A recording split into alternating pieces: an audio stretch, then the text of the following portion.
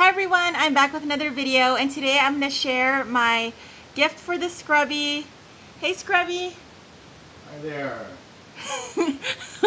I made this for him for his birthday and it's super late but it's finally done and it's the World of Warcraft treasure chest.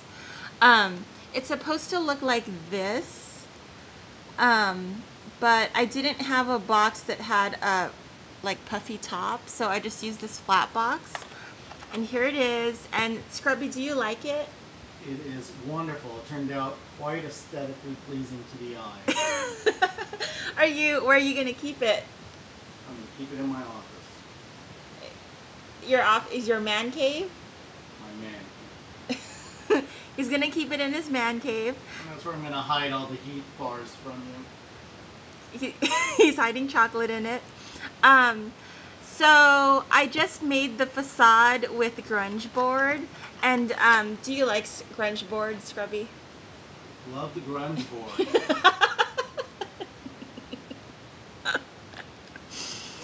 and I just put brads that I got from Expo.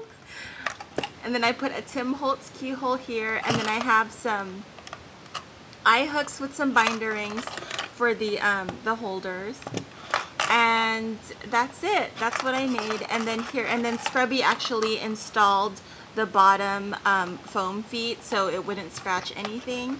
And then if you open it up um, I have some black felt to line the bottom.